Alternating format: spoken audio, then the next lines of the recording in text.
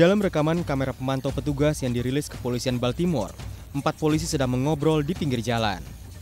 Mesin mobil patroli mereka juga dalam keadaan mati. Namun tiba-tiba sebuah mobil menabrak mobil patroli dari belakang.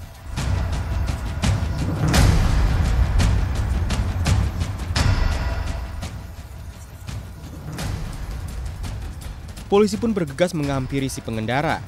Tak ada yang terluka dalam kejadian ini. Hey, my park, my park patrol car. 10 4 have 3 1.